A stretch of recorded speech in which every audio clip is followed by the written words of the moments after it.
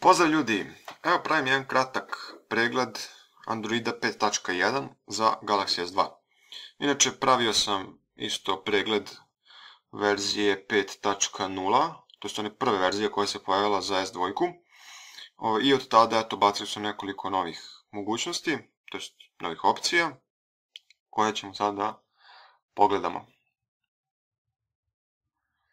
E, ovdje u Quick Settings imamo prečice za Wi-Fi mrežu i mobilnu mrežu, pa recimo kad ne morate da držite ovako dugo da biste otvorili mreže, nego kliknete ovdje i on automatski skenira i ponudi vam sve mreže. E, mobilne mreže ja ne mogu ovdje da biram zato što imam samo jednu SIM karticu. To je to. I da, ova animacija za ovaj rotate je nekako lepša, urađena. Onda za ove animacije od ovih ikonica gore, kao što vidite, kada pređete na neki tab, neka animacija se uradi. Ok. E, kod zaključavanja ekrana, na 5.0 ako povučete ovako ovaj quick settings i želite odmah da ne možete, nego morate opet da swipujete. A ovdje možete odmah ovako, ako povučete quick settings, samo ovdje do dole povučete gore i oključali ste telefon. Cool. E, da. Sad ako imate ovako pin na zaključenom ekranu, ova animacija za zaključavanje je nekako lepše urađena. nekako je fluidno. e, postoji još jedna zanimljiva opcija, to je screen pin. Evo ga. E, dakle, možete da postavite neku aplikaciju da je pinujete, da je zakačite na ekran i možete samo tu aplikaciju da koristite ništa više.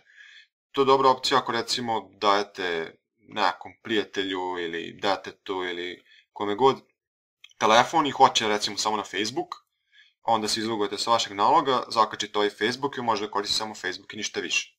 Ne može ni poruke, pozivi, ništa, ništa, ništa. Evo, da demonstriram kako to izgleda.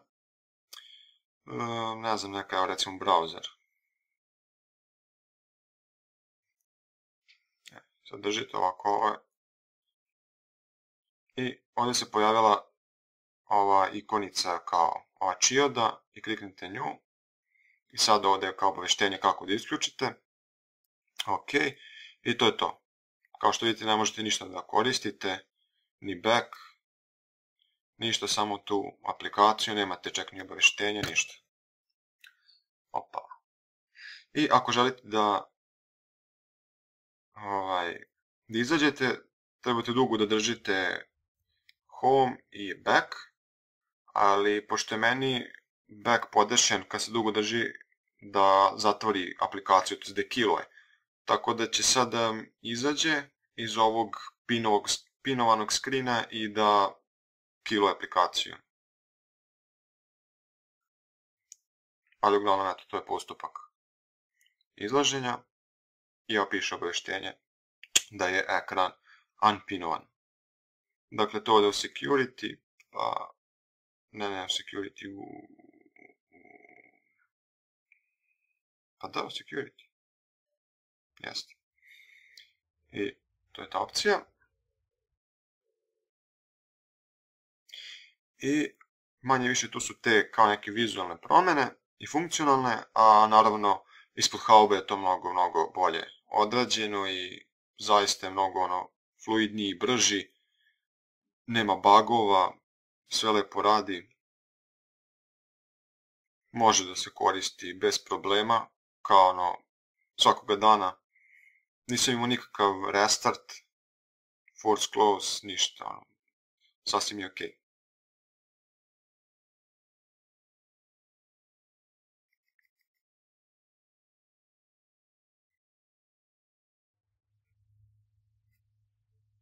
Nikad mi ovo nije išlo.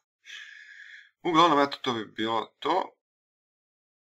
Ostavit ću link ka XDA forumu ako želite da instalirate i to bi bilo to. Pozdrav!